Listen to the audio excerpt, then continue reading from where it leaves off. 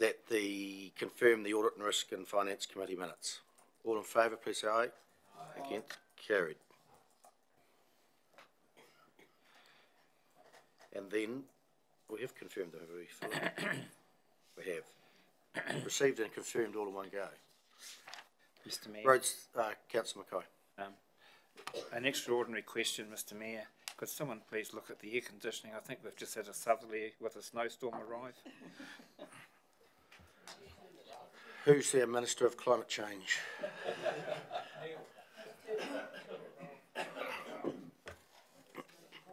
Item number nine, Road Safety Coordinating Committee.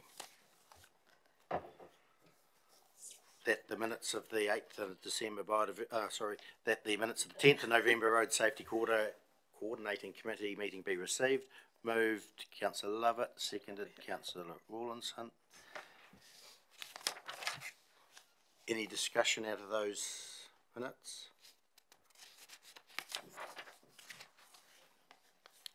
If not, uh, councillor Rawlinson. Um, is it prudent just to mention from that, um, that we've had a meeting with NZTA on the Tinwald corridor, just to update those that are listening, that there was a workshop held here. Yep, please do. And, um, it looks like the lights will be at Agnes Street, I would say, but we'd had a very, very good workshop here with NZTA and there was interested parties who all have businesses along that street. And, um, I think the outcomes will be good. And they're going to report back in February. Yep. Good, that's good. And the, um, the lights over the Ashburton Bridge have been repaired, fixed, going. Good. Um, I'll put the motion that we receive those minutes. All in favour, please say aye. Against, carried. Biodiversity Group, meeting eighth of December. We need to receive those minutes. Councillor Lovett, I'd like to move those things. And can I just make an, in a minute, you can. It's Councillor Rawlinson seconded.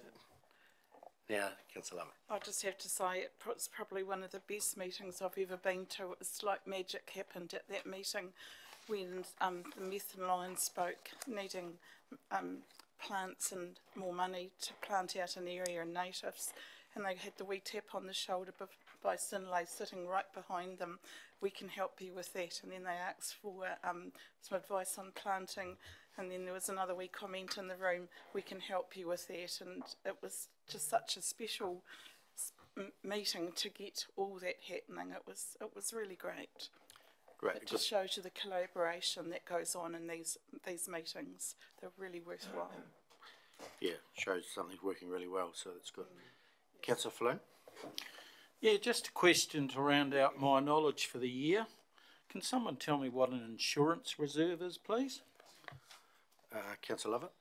It is um, there's some very rare plants, only one or two of them left, and they're sitting on road reserves or in on unused roads, and they would like to pick them up and put them in an area that they can um, be saved and kept for the future. Because if they leave them where they are, they're just going to be they'll be gone and destroyed, and it's just insurance a, a bank for them for the future. Councillor Falloon? Supplementary. So basically, the areas that are here to be set aside, uh, they will then become um, insurance reserves for these rare plants currently on roadsides. I'll put the motion. All those in favour that receive those minutes of the eighth of December Biodiversity Advisory Group, say aye. Against? Carried. Item number eleven, Methven Community Board minutes. We move in a second that we receive these minutes. Councillor McMillan, No, thank you. councillor Betham. Any discussion?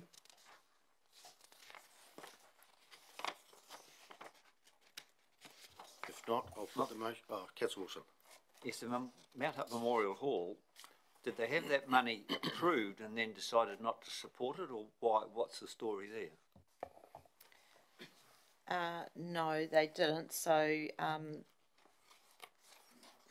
there was an application going to the uh, Methven Community Board for the funding, um, and there'd also been some other applications going for grant funding. So the,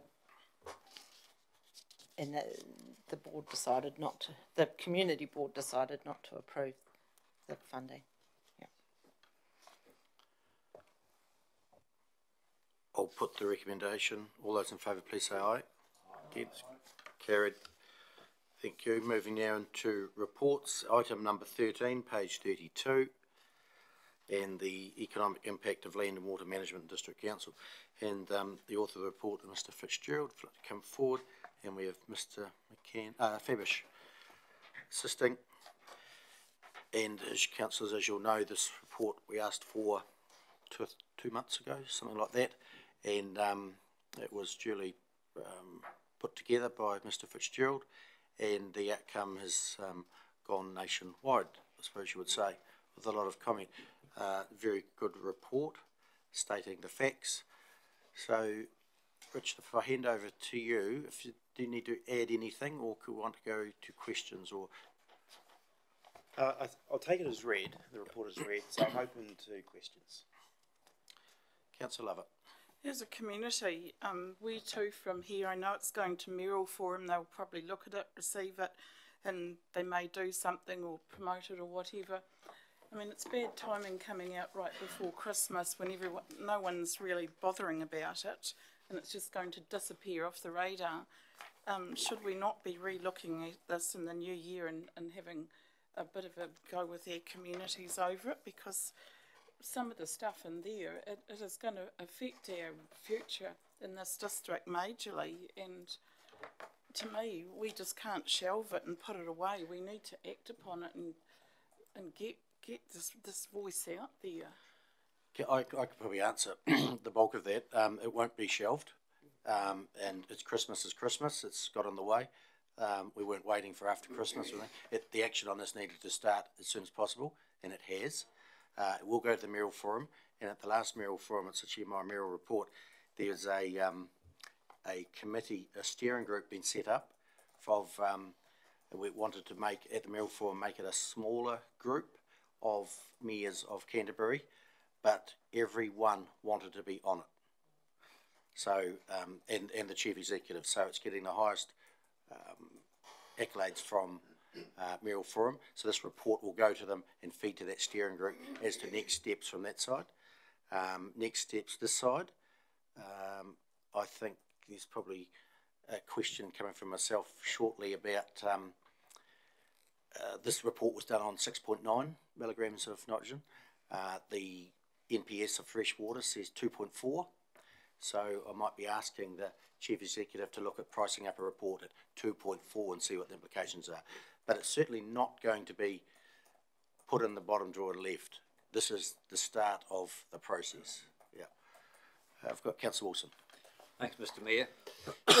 It's a very good report, Richard, but my question is actually the Mayor has stole my thunder. I think we should uh, pass this, not, not pass this at this stage. This is chapter one.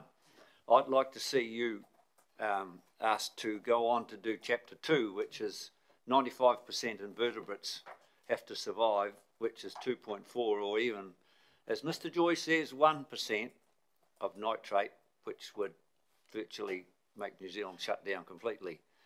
So what's the, what happens if we don't pass this, but we shelve it and say that you're going to do, uh, have to be the chief executive, that it would be part two, which would really, to do the six point nine, I think most farmers, if they were given time to do it, they realise they have to do something and they would be prepared to aim for six point nine. I know it'll cost the community quite a few million dollars and um, perhaps hundreds of millions. They are prepared to aim for it over a, a decade or two. But that's only a partial thing. If Mr. If the government continue on with the 2.4 or the NPS as they're stating, this will become irrelevant. So, Yeah. perhaps Mr. Mr It's, it's- it's, it's through you, um, Mr Mayor. So the NPS for fresh water um, has been adopted. In September, the government adopted it. Uh, and included in that is 2.4 milligrams of nitrate. So it's not a direction or an intention, it's is in now. So that's the first point. Uh, the second point is that uh, there is there is no uh, literature that we can find on the economic impact of a move to 2.4. And so, in order to get this conversation underway and, and trying not to have a report that um, was around uh, best guesses and therefore able to be criticised and, sh- and shot down around the assumptions made, that was uh, when Richard was asked to do it on the existing literature. And that's what he's pulled from the Hinds catchment and then applied some really reasonable logic across the rest of the district. Because that is the only literature that exists uh, around the 6.9. So, and, and we labelled it a really conservative report, uh, and uh, and it was because 6.9 isn't the law, 2.4 is. And so the the clear uh, uh, one of the clear needs is to have an economic impact analysis done at 2.4, and that's uh, the the um, reference that the, uh, the Mayor was making to the need for further information in order to have the conversation with the government about the impact of 2.4, which um, will, will be worse than 6.9, but you know, potentially exponentially worse. So uh, one of the outcomes is to share the report, to get uh, community leaders um, thinking and talking about um, the report, to ensure that information feeds through to uh, the ministers and, and the government officials around uh, the economic impact uh, of the regulations, but also to signal that uh, there has been no work done on 2.4 in terms of um, publicly available economic analysis. And, and a, a clear next step uh, is for that economic analysis to be done at 2.4 to further inform the debate. Now, it, it may be that council um, signals their desire to um, um, get that work underway. It may be that council is part of that. It may be that council is looking for partners to uh, get that piece of uh, work underway in the new year. Uh, but that is a gap in the current um, scientific knowledge, if you like, around 2.4. Thank you. Councillor Cameron? Um, Richard, thank you for the report. A question with regards to um, the reduction in farm profitability by 83%, and then you've written down here um, this will flow through to affect 653 employees. Is that farm employees or or just ramifications of implications of not spending the same in the town? So it's employees throughout the district or farm employment? Uh, through the chair, uh, it could be either farm employees or, or urban-based roles as well, so that we didn't distinguish between the two because a lot of our, our budgeting is based on obviously a, a projected growth increase of 1% throughout the region over the next to 2040, I think. So clearly that will have implications on a lot of other things besides just a simple, you know, expenditure in the town or expenditure in the country. There'll be project a whole lot of um, ramifications. Thank you. Thank you for that. Uh, Councillor Mackay? Uh, Mr Mayor, um, I think it's um, brilliant that this council under your leadership has actually got the first report done. Um, I think we should absolutely pass it unanimously today to give you the lever to, um, and I hope all the other mayors get their councils or talk their councils into um, fulfilling it. And from your words, it sounds as if that will happen. Um, I think it's now beholden of us to actually do the economic analysis on 2.4, and if we can get some independent economist like BERL or someone to back us up. That'll really give us the strength. Councillors, um, if the Canterbury mayors go to Wellington to see a government like they have done in the past, I can guarantee you there'll be some action because that's what has happened in the past. And I actually got up at half past 12 this morning and I wrote a speech which I've now shelved after reading the Mayor's words in the Courier at lunchtime because I think we've got to be a wee bit careful. There's been a lot of people have run a lot of big words together explaining what a dreadful report this is, but it's only the Ashburton District Council under the leadership of Neil Brown that has written the hard facts. And Mr Mayor, I will move a motion at the appropriate time that we write part two the, the follow-on chapter or whatever we want to call it, because it will take you some time to get to Wellington because of politics in Wellington and until people actually arrive back at their jobs. And I think we should get this underway. I don't think, councillors, we should nominate a particular person from this council table to write it. I think the chief executive uh, carries out our instructions and it would be up to him to carry out the instructions and the contract with whoever is deemed fit. Sorry, Richard, but I'm just trying to stick to process. Um, it's hard for me to say that with you in the room, but you understand these things. So um, I think we should proceed forthwith with part two, but we must pass this unanimously in the hope that the other mayors will get their councillors, their councils to do it as well. And then we proceed forthwith with the next part. Because actually there's going to be another part after that one. And the other part after that one will be, in my considered opinion, um, how much of the environment is actually um, will be left even after 2.4. Because my pick is that if you have a look around the world, Mr Mayor and councillors, that it is the wealthy countries that are putting their environment back together.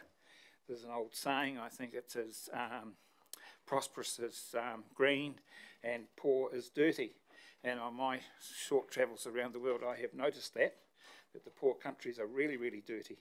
So if we really want to be uh, clean up New Zealand, if it needs cleaning up, we have to be wealthy. The only way to do that is keep selling high end goods like milk um, on the um, world market because uh, wool, wool won't do it, councillors. We know the price of wool, it won't do it. I'll, I'll move the motion when you're ready, Mr Mayor.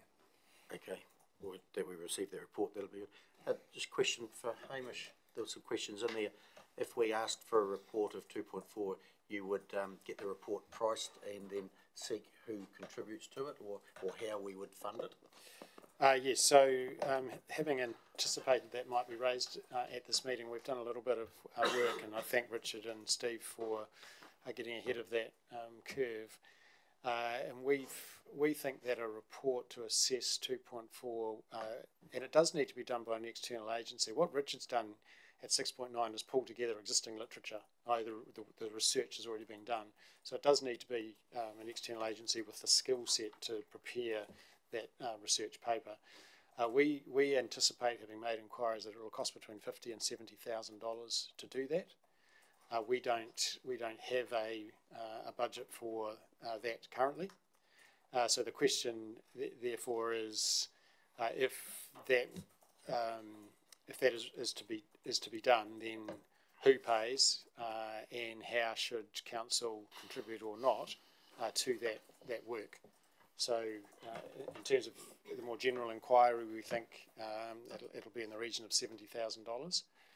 Um, how that should be commissioned and paid for uh, is um, yet to be thought through. Thank you. Councillor Falloon. Thank you, Mr Mayor. A number of questions and comments, if I may. Thank you, Richard, for the report. I think it's very good. And I think if you read it, and understand the implications behind it, it would scare the pants off anyone. The only thing I would say is it does not go far enough.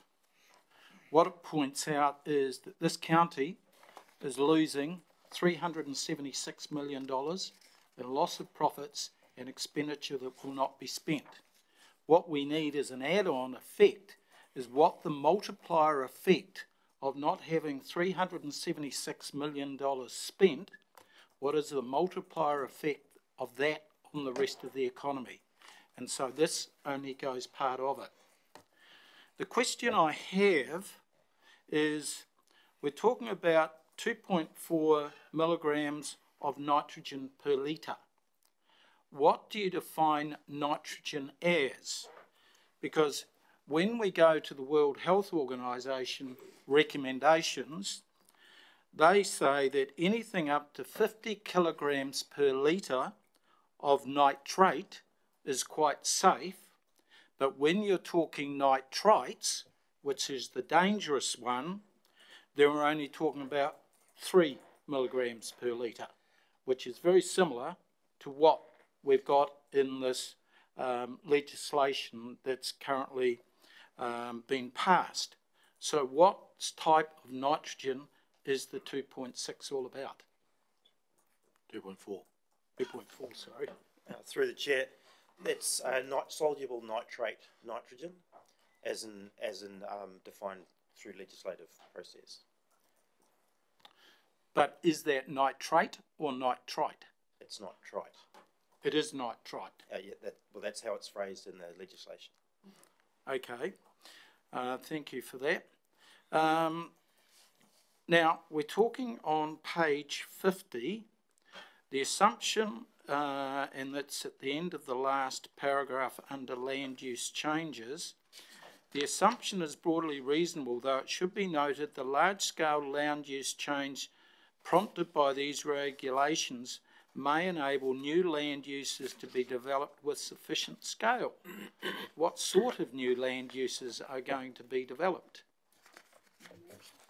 With, with no water, no nitrogen, and uh, basically we're dryland farming. Councillor Falloon, just, you said page fifty, did you? Uh, Yep, on, on Stella. That's the Infometrics. Through the chair, that's in the Infometrics report rather than Yep. my particular report. Yeah, fifty-two of, I get it. yeah, Thank you.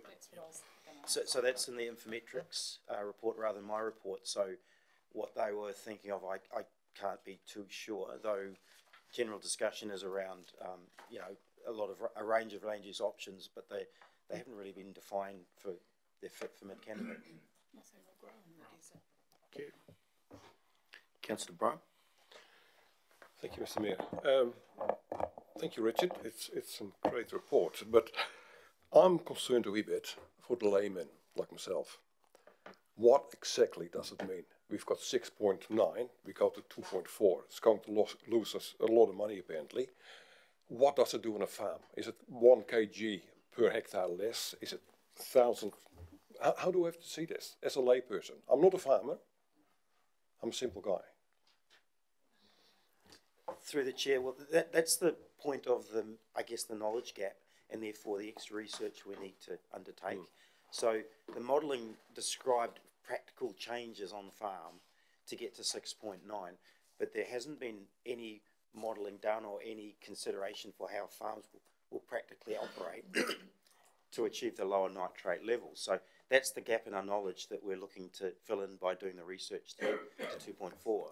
So anecdotally, talking to um, some people that know a lot more about this than I do, the, the, the, the view is that we're talking about a, an overseer number of about 10.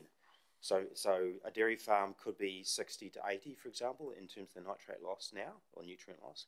So it's a massive reduction in inputs to get to a, a low leaching level. So, pardon? Uh, well, that's an overseer number. So, um, I'd have to check to see what the units specifically relate to. Car- It Carol, would be um, kilograms of nitrogen. hold your questions, Carol. Yeah. Yes, Mate? sorry. Yeah. Um, so, so from a practical sense, uh, we simply don't actually know what it's physically going to take at a farm level to achieve a 2.4, and, and in fact, there's a lot of concern that it can't be achieved. So another question, you know, just, just a layperson, yeah, let's be a layperson. We've got a lot of them out there who are critical of what we're doing here. So a six point nine, we can achieve this. And without losing too much money on the farm. Is that correct, what I'm hearing around this table? Over a long period. But that's something we can do without losing too much money or work or whatever, or production. Is that correct? Through the chair, so the um, so the Hinds catchment in particular are on this pathway already. So they're not quite at 6.9, but while it's difficult, there is a degree of confidence amongst the farming community that it's achievable. What's not, what we don't know is what's to get beyond 6.9. We, we simply don't know what that's practically going to mean. Thank you, Richard. Councillor Wilson? Yes, I've got a question. Our local member of parliament is now an elected member, elected member, chair of the primary production committee. I believe, as some of you have met, was there any hope that she could talk to Mr. Parker, or where, where did you, where did that meeting get to? Um, perhaps I can report on that. Yes, we had a meeting uh, that involved our local MP last Friday, uh, and she, um, I think, was already aware generally of the pressure of the freshwater reforms uh, on the rural community. Uh, and at the end of the meeting, she had quite specific uh, information about some of the concerns, uh, and she undertook to take that back to Wellington a, a lot of the a lot of the concerns um, are already without having the data, but a lot of the general concerns have already been well expressed to um, the, the minister. He was the minister prior to the election. I remember it's only a year ago that he was talking about a dissolved nitrogen uh, level of one across the whole country, and so the the lobbying of of that um, proposal uh, against that proposal uh, led to the 2.4. So a lot of the concern around nutrient loss and how to get there uh, is, is well understood in Wellington. Um, what, what, what, what I think the gap, uh, the primary gap is, is hard and fast factual data around economic impact of that. And that's the that's still to me the big piece that's um, that, that, that needs to be done in order to prove the case that uh, the potential impact for rural communities.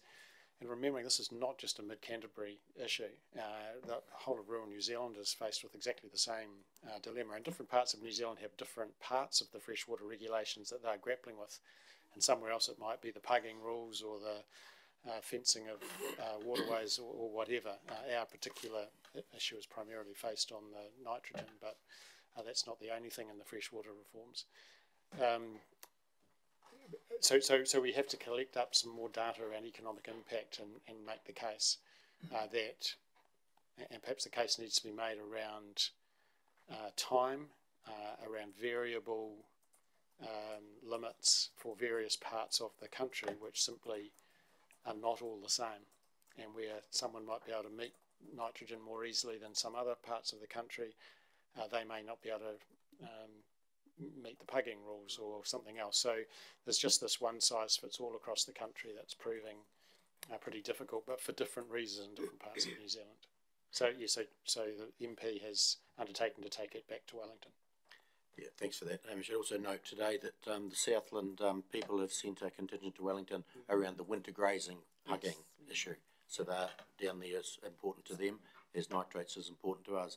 But um, we have winter grazing issues as well. But hopefully Southland working on that will solve our problem here. So uh, next up, Councillor Rawlinson.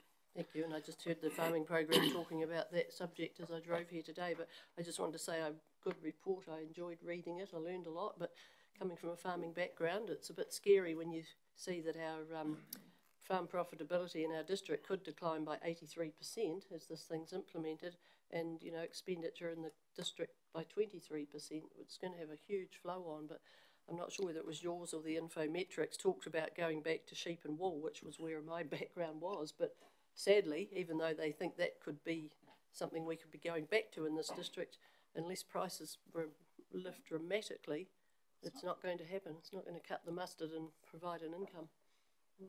I just want to make those comments. Thank you for that. Councillor Letham. Uh, thank you, Mr Mayor. I think this is one of, if not the biggest challenge this district has ever seen. Um, I agree with just about everything that has been said. It could be catastrophic, absolutely catastrophic. So we must continue. We must push forward and we must continue and get uh, gather a report at the 2.4 milligrams level. And if it costs 50,000 or 70,000 or 100,000, we must find the money and we must make sure we get the facts because the alternative is absolutely frightening. Councillor Mackay. Oh, thank you, Mr Mayor. Um, if I may answer the Chief Executive's question, where's the money? Um, if what Councillor Letham said is correct, and I know it will be from the figures that I've read, we'll have a downward swing in our property that we own as a council. So therefore, I believe we could find it from the property reserves as a justifiable um, for. No, I'm serious because if our property's going to drop, we've got to protect that property right. um, for the ratepayers, so I believe there'll be a reserve there that we can find it. I think also we should go to the other mayors of Canterbury to see if they will contribute to this one as well, because this is just not Ashburton, this is Ashburton leading Canterbury and the South Island and New Zealand on this issue. And, but it is so important to us to answer Councillor Braam's question. If he can work out how many extra houses were built through the intensification of Ashburton, you can take those houses and families out of the equation with dry land farming. Okay, so you, you're looking at more than Richard's figures in my number. You're looking at unemployed, 1,000 to 1,500 in Ashburton. Um, we have to remember, Mr Mayor, that in 2001, ECAN had done some measuring through well water and found that it was the dry land farming practices of fallowing ground to kill weeds that was caught and then heavy rains coming and washing those stored up nutrients in the soil into the groundwater. That's what started the nutrient search, the nitrate search in Canterbury on the plains. It was caused by dry land fallowing of ground for weed control. Roundup's the best thing that could have happened to Canterbury, Mr Mayor. And, and at, and at that time, that was best practice. Correct. Yeah. That's how it started, dry land farming. Do you want to go back there? Councillor McMillan. Thank you, and um, my question's for the mayor. Um, so I agree it needs to go to the Canterbury Mayor Forum. Forum. What's the timeline on that? So obviously you're not going to meet again before No, we meet in February. February. So it'll be, at- and we will have it agendaed for the February meeting. Yeah. Councillor Cameron. Just a quick question for you, Richard. What is the range of um, nitrogen throughout our district? Like we've got the Hinds, which is pretty good with the Mar. What are, what's our upper end in our region? Up end isn't physical, the geographical upper end. Yeah. Um, well, the Rakaia River runs uh, below one percent, from what I understand. So, so that's a pristine river. Um, but the the issues do revolve around overland flow or river river quality for the Hinds catchment area, because of course there's very few rivers across the plains otherwise. Um, so anecdotally, uh, talking with farmers since I've been in this role, uh, the the well water that's recorded, for example, the um, Hinds, uh, sorry, the um, High Bank Water and other private schemes who, who test nitrate levels for for their quality requirements, um, are often uh, identifying water coming out of the ground, the spring water above the two point four percent. So so there's actually there is a degree of question though the the science around the monitoring would be reasonably unreliable. But the, anecdotally, there's there's a question mark around whether in fact natural nitrate levels are higher than that anyway. But once again, there, there's a whole piece of work and you know robust research needs to go around it if we're going to look at that. Um, but my understanding is that we're we're tracking okay to reducing our nitrate level in the Hinds catchment area. Yeah. Um, but there's still some way to go. So I, I can't give you a, a straight figure in terms of specific numbers, but we're still sitting above where we where we need. Well, we're sitting certainly sitting above the two point four percent without question. so this two point four level that was um, adopted or, or suggested by the government, that's just how have they determined that then if the water's coming out of the, the groundwater, possibly more than two point four? Was there no research done into So selecting that level?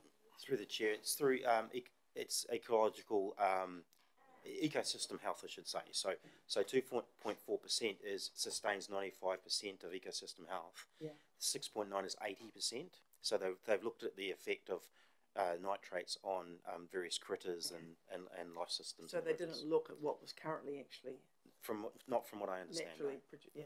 Okay. Councillor Falloon. Thank you. So basically what the government is interested in is looking after critters rather than looking after humans. An interesting report which backs up the work that's in yours uh, report, Richard, is a report that was done by ECAN on the effects of making changes round Lake Ellesmere. And their report came up with very similar uh, conclusions to the report that you have done. Just coming back to the level of 2.4 though, it's already in the legislation, but my understanding is that there is no timescale on when that has to be done by. Can someone just inform me what is happening as far as timescales and when it's to happen? Yeah, there is. Twenty twenty-four, I think, Richard. Through the chair, so my, my understanding is it's broadly described as within a generation. Uh, that, that's right, so that, and, and that's about as, as uh, explicit as, as it's been around the two point four level. I'm not, I'm not aware of any more, uh, precise timeframes. Do the regional councils have to rewrite their regional plans to take effect of this, which they're going to start next year? Sorry, was, pardon? Do the regional councils have to um, rewrite their regional plans to take effect of the freshwater standard, which I believe is going to start next year? That's right, so, so the standards are in place now, they're legislated now, so, so any, uh, rewriting of any of the regulations have to take effect of those new, uh, the freshwater statement. Thank you. Councillor Mackay, we're ready for a mover. And you may want to add on a, a second recommendation. Okay then, yep. I'll put your light on, Hamish, An- Angus. Start again. I'll, I'll move the recommendation that the Regional Council receives the report and refers it to Environment, to the Canterbury Mayoral Forum and other relevant stakeholders, both political and industry organisations for consideration and comment. I think we keep it simple. Say that again. Right, Sorry, District Council. no, to the Canterbury Mayoral Forum, I'm sorry. Yeah. What I should have said, as per written there in the recommendation. Oh, oh. So the, the- it's as, as written in the, rep- in the, on the paper. If I did say regional, I apologise, I meant As Canterbury written Mayoral in the recommendation. Yep. Yep. Councillor Falloon, second. Second. Any speakers for the motion? Any speakers against the motion? I'll put the motion, I'm in favour, all those in favour, please say aye. Aye. Carried. Councillor Mackay. Um, I have to do some wording on the fly. Um, I want to try and incorporate that we as a district council underwrite it so the work can start, but that we ask the mayoral forum um, to do a similar economic report based on two point four milligrams. So can someone help me? Who's the wordsmith around here? Do we want to ask the chief executive to, um, look at getting a report done and the costing of it and where those dollars would come from in the interim? Does that make sense? Um, I, I, Mr Mayor, um, if I may, I would, um, like, I'd like the chief executive to get started on this, so I'd like to give some slightly clearer instruction that, um, that the Ashburton District Council, maybe the Ashburton District Council proceeds with a further report on two point four, and that we underwrite it from our property reserves, and we ask the mayors of Canterbury to help finance it, Or others? or others. Ju- ju- just speaking, so I understand uh, the intention. I think if we ask the mayors of Canterbury to underwrite it, they'll want a, report for the whole of Canterbury, and then and then my uh, um, estimate doesn't hold. So, so what we did was seek a view as to what the impact of two point four on the Canterbury or Ashburton district uh, would be. So I'm not saying that a report across the whole of the Canterbury region, which is presumably what the mayors would be interested in if they're being asked to fund it. I'm not saying you can do that for seventy grand. Um, okay, um, we leave the mayors of Canterbury out of it and that we, um, fund it from our property reserves. I've tried to find a justifiable funding place. And others. And funding from others, if we can find funding. But I think we have to, actually have to start it. Industry. And I think you put in there the Ashburton District Council would underwrite until others was found, if they are found, yeah. Thank you. Philip, is it got the, like it redone, re, reworded, please, or re, restated, please? No, it's not, it's one part. Uh, put your, like, um, Angus, you go off, Roger will come on.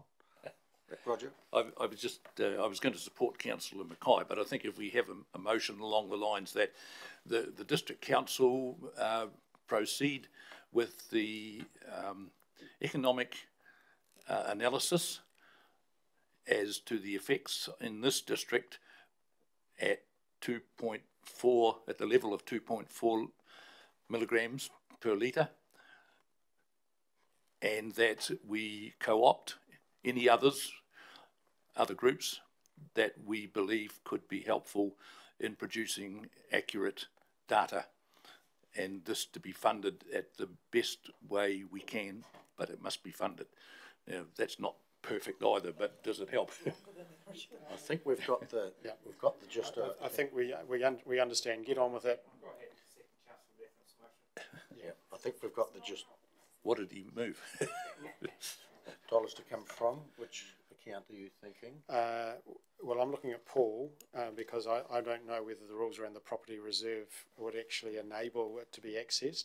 I But think if we not should leave it to the staff to But if not that reserve, then, um, the clear intention of council is to approve this, uh, funding over and above our current budget levels, and we'll simply need to find best place for that, but I don't know if the property reserve qualifies. Uh, through Mr Mayor, I don't think you actually need to state where the money's coming from. If you're directing us to do it, we'll find the appropriate place to fund it from. That would be the intention of my motion, Mr Mayor. Let, let's get on with it. Let's fund it as much as we have to. If we can get others to cooperate with us, we'll use them, but let's get on with it. Okay, good. Councillor Wilson. Thanks, Mr Chairman. I'm against the present motion. I shall be moving an amendment that this council investigate the economic impact of the National Policy Statement for Freshwater Management and associated legislation. Rather than state two point four, we're looking at the National Policy Statement as a whole, which has got a lot more than just two point four. It's about invertebrates and all the whole thing. So it's much simpler than trying to, Okay, Yeah. Carolyn?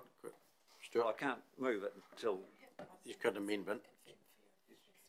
We haven't had a second for the first ones. As, does the mover want to withdraw the first motion? I can the first motion. So now councillor Wilson's motion will be the motion on the table. Well, the district coun, Ashburton District Council lead the investigation into the economic impacts of the National Policy Statement for Freshwater Management and associated legislation. Um, and then we can leave it to you to Sort the enlarge fund- it with sort the the mayoral forum and that's just, that's sort of a pretty broad. Yeah, I, I, I understand. Uh, s- s- sorry, Yeah, Hamish? Just seeking clar- clarity from Richard, uh, in, uh, in terms of the, putting our toe in the water with the potential cost of the, um, economic impact analysis.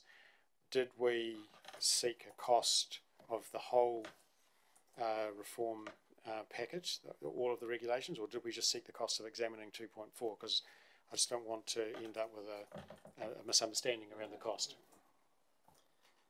We sought, um, sort of cost based on understanding the move to two point four. So moving, uh, looking at the whole statement will bring in, broadens the scope quite considerably because we'll need to understand fencing implications, grazing, uh, change of grazing practice and so on. So that does increase the scope quite significantly. Yeah, uh, a- and that scope increase will, will mean, uh, cost increase. And, and, and that is unknown, we didn't, we didn't price that full report. Um, that, we can, and we can advise you of that, and we can obviously do what council wishes. Uh, but it would appear to me that we won't get that for seventy grand. Council, um, moved, councillor Wilson. Is there a seconder? Councillor, Phil- um, councillor Falloon, you got your light on? You're Yeah, seconding? no, I've got something to say. You're not seconding? I will do. Okay, seconded. Okay, thank you. I just wonder how far this motion is going though, in that what I would like to see is what we're directing our current discussion to is those who are currently on the land and farming it. To me, equal to that is the multiplier effect of all those companies and businesses who are based in towns like Ashburton who are servicing those because that is going to probably have a bigger effect on rural communities like Ashburton than what it will just on the actual farming communities, farmers themselves. Um, uh, through you, Mr Mayor, there is no question there is a multiplier effect. And so the point you make is um, entirely valid. The issue that we have is that there is um, a lot of debate every time an economic impact analysis is prepared as to what uh, the multiplier should be. And every economist you talk to will have a different number. And one of our concerns in preparing the report that Richard has currently written, and one of my concerns about the future report, uh, is that it will be criticised for, for all the wrong reasons. And if, if we use a multiplier that somebody else um, doesn't like, then they'll attack the report on the basis of the multiplier as opposed to the real issue, if you like. So we quite deliberately uh, didn't um, use a multiplier, and Richard quite deliberately steered away from a multiplier so that uh, it was a really conservative number. You couldn't argue about the impact of the changes uh, on how much you did or didn't uh, um, multiply something by, and you just focused on the thing itself. So, so you're absolutely right, uh, but multipliers are a um, they, there's uh, hotly debated as overheads, and uh, it starts to detract from the uh, the real thing. So I think our strategy was very much to, to say there is a multiplier, but we've discounted it for the purposes of our conservative report. Thank you, Mr. Mayor. Just a couple of questions. We're going that fast that I can't follow it. Um, the, the, nine, the 6.9 is something we can achieve now. What I heard in a discussion before, if I heard this properly, the 2.4 is 100 years away, one generation. Is that correct? No. What no. was that 100 No, years? so someone said a generation was 100 years. That's not generally Richard, what's... that's no. what Richard No, mentioned. no, no. So a generation is usually regarded as about 20 years. About every time someone breeds, you know, kids come every I know, 20 odd years. I, I know that, but it was okay. So if, if this 20 years from now, why are we rushing into it just as a district and not knowing what we're doing? Because it was also said before, to get to a 2.4, there's a lot of guesswork, no science, because no one has been there yet. No, And, and like you said as well, Hamish, we let ourselves open to a lot of questions because we don't have the answers. That, I, I think the thing to keep in mind through you, Mr Mayor, is that 2.4 is in the current regulations. This is not a theoretical number that someone's discussing. it's no. in there now. I'm not, I'm not So, and there is a lot of concern that it may not even be possible to get there hmm. in a generation or any other time frame. But what you do know is you have to start working towards it because it's in the regulations now. You ha- farmers have to now be mindful of the whole suite of changes in the freshwater reform, one of which is the 2.4, and, and you have to start working towards it. And one of the things that will happen is that the regulator, in this case the regional council, uh, will start um, behaving uh, in a manner and monitoring consents and renewing consents and not renewing consents and putting conditions on consents uh, with a view to achieving 2.4 over whatever time frame. So for farmers who they, they can't just carry on because it's a long time away and we don't know what to do because all around them uh, the inevitable um, push is to do something and more of it uh, and and there is a real concern that doing something and more of it uh, will render their farms uneconomic. So so it is now. We do have to be thinking about it now. We do have to understand it now, uh, and be trying to prevail upon the the government uh, that um, there's an information gap, there's a time issue, and one standard across the whole country is is quite possibly catastrophic. I, I realise all that, but the two, 2.4 we, we have to go to, there is no time lim- limit on it, as I understand it. So is that correct? there is no time on it yet. So it doesn't have to be done next, next year. It might happen next year, but we don't know. Is that correct? Through the chair, um, the use of land in New Zealand is obligated to achieve two point four in a generation. So we don't specifically know That's what date and time that is. So farmers are, are legally required to demonstrate um, auditable proof that they're moving towards the two point four level, which means effective from September, they have to develop plans that, that will be um, legally enforced potentially through the through the regional regulator that shows that they're they're they're implementing changes that's taken in that direction. If they don't provide that evidence, then they, they lose the consent to farm. So it's, so that twenty-year transition, if it's, if, if it's that amount of time, is, is actually relatively short for the scale of change that we're looking at doing. We can't keep kicking the can down the road. Councillor Cameron. Um, I just want to talk to the motion just quickly. I totally agree that we have to do a report and that this report demonstrates catastrophic implications for the farmers. So two point four will be cataclysmic if that's a greater breadth, yeah. But I just think we need to know the cost of the report before we commit to it. Like, I don't think it should be open-ended cost. And I note, Stuart, you didn't have anything like, it would be good if we knew the cost at an upper level of a hundred thousand or hundred and fifty, like, quite nice to have some parameters. That's my only comment. Uh, uh, thank you, through you, Mr Mayor. Could I suggest that perhaps the resolution has um, got a caveat on it subject to understanding the cost? And following this meeting, uh, we will uh, get an estimate of that cost. Uh, and uh, we are aware that the council meets again uh, next Wednesday for a couple of other matters, and we could advise the cost or a ballpark cost at that meeting. Um, I'm looking a bit hopefully at Richard that that time frame is achievable. Uh, but if we could get that number and bring it back to you next Wednesday, uh, then you could confirm that you wish to proceed, then knowing the number, because it is a, it is difficult to plough ahead without knowing that number. I agree. Good idea. Thank you. Now, I support councillor Wilson's um, motion, but then others have talked about widening it to the whole NPS, but to bring it back to where this uh, report we've received today, I'd like to add in there that particularly in relation to the role that primary production plays with the environment, because that's where Richard's report was targeted. I guess we're looking to go to another level with Richard's report. So should it be just focused back where we started on primary production as opposed to trying to do everything in the NPS? And then we'll get totally distracted and the costs will take off. We'll But will you keep the focus back on primary production? That was the important words I'd like to put in there. Councillor I support Ri- um, Stuart's motion, but um, looking, um, we're an arable farm and we're uh, farming on the overseer at seven. If we go below, down to this two point four, the arable industry's gone. No dairy farmer can operate at this two point whatever it is. So that there is major impacts and and when you hear them on the other side, the environmentalists wanting us to go back farming as we were 50 years ago, that's not where we we're wanting to go.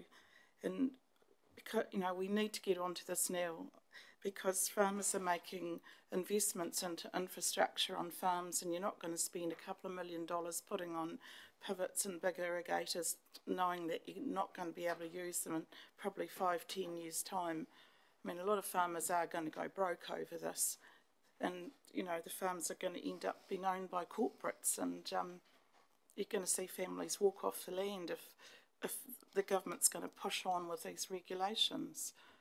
You know, it's it's important we move on with it and try to change their thinking. It's like this regenerative agriculture, it fits all in this, and we know it's not going to work in mid Canterbury, and it's all part of this whole system they we're looking at.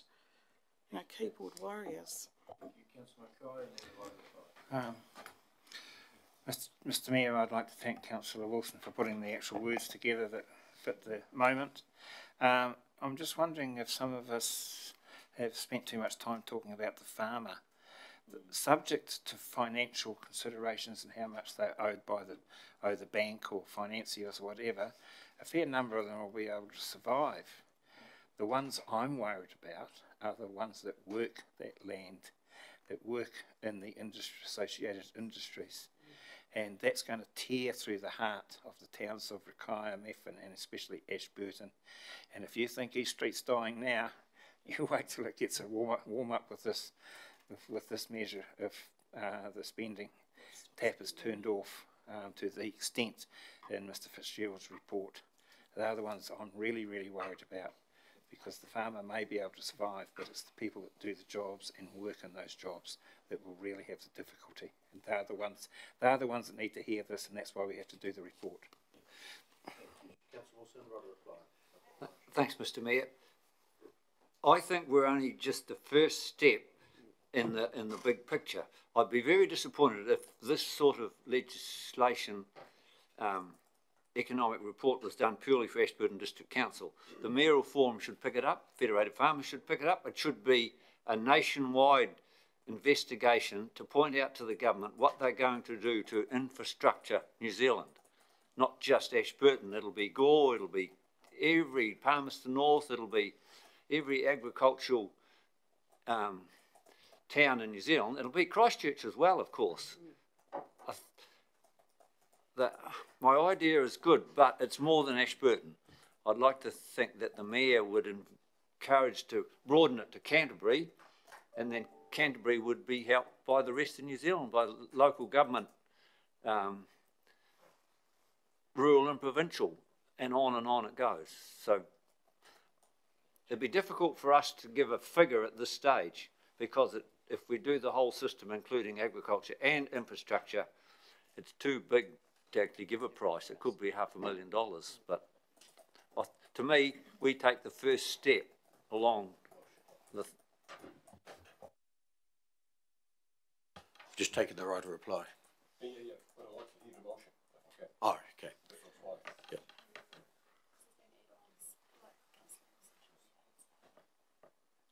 Councillor Wilson, read the motion, please. Light on. Light on. that the Ashburton District Council investigate the economic impact of the National Policy Statement for Freshwater Management and associated legislation on not only primary production, but for the whole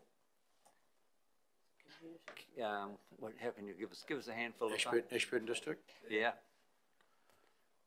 The whole infrastructure of, um, of, of New Zealand. or- New Zealand will be far-reaching. Yeah. My understanding of the motion uh, was, it was, it was an economic analysis for, for the Ashburton district uh, on the effects of the NPS freshwater management um, and, and associated legislation, Yes. subject to understanding the cost of that report to be fed back to council next, uh, at the earliest Subject to. opportunity. Subject to, yeah. Okay, I'll put the motion. Thanks, I'll put the motion, I'm in favour, all those in favour, please raise your hands and say aye. Aye, against, carried, unanimous. Thank you. Thanks, Richard, Steve. Um, do we? And here they are. Welcome, Bruce. Lauren. Bruce and Lauren, EMC, welcome. It's good to see you again. Your report is on page one six one. Or one fifty, one five nine still.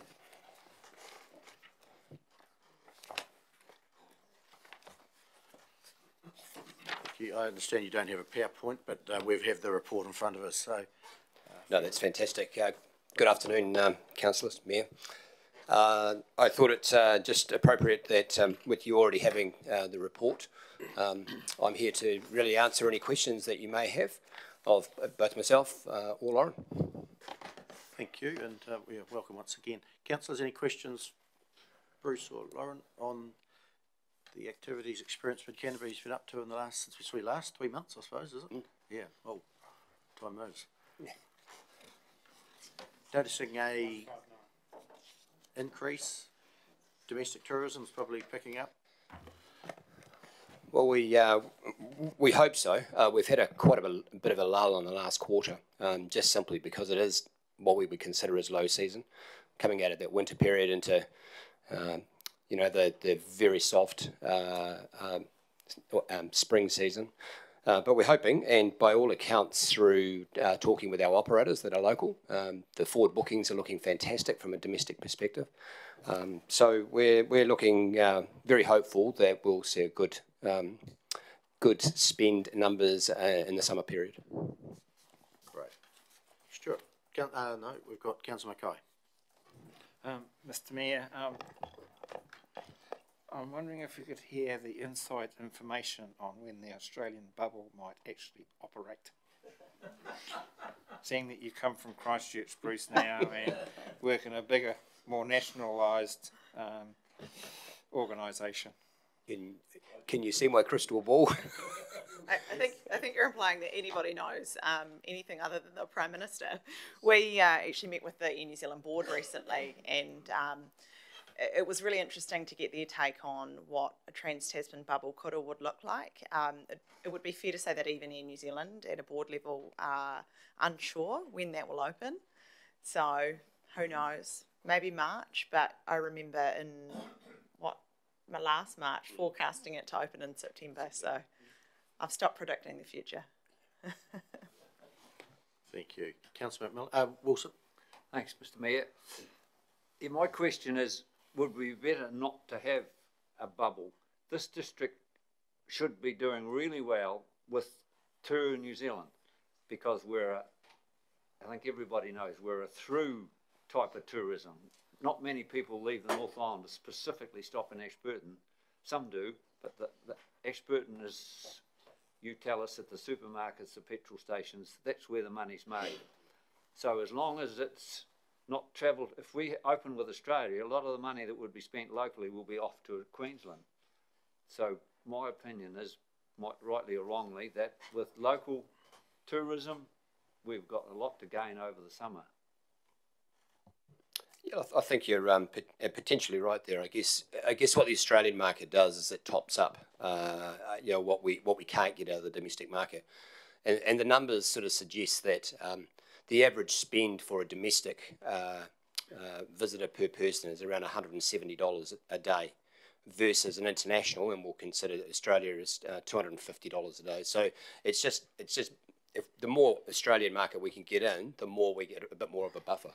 Um, so, so uh, look, there's there's a lot of conversation around uh, the border and, and you know the uh, the sensible points of it. Is it going to be safe for the general public of New Zealand and, and, and so on? So that's where sort of a lot of the delays are coming from. So, uh, but but primarily, uh, yes, we can survive on the domestic market right now, and I think we've done pretty well. Uh, certainly, when COVID come to play, I, I predicted that we'd lose something like sixty percent of our of our tourism spend in this district, and I'm happy to say it's only 17.4, um, you know, which is um, considerably different. So the, the domestic market has really helped us to survive through this through this um, ordeal, um, and uh, I, I, certainly think we'll see an uptick in the in the summer period.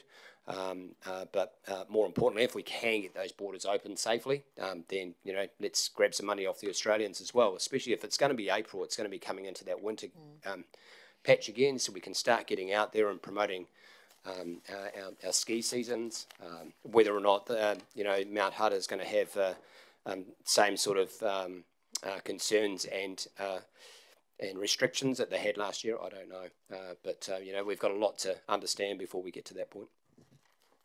Councillor McMillan. Thank you, through the chair. Um, good to see your advisory groups met a couple of times, and I see um, you've got that event funding, um, which ADC have applied for, I'm guessing.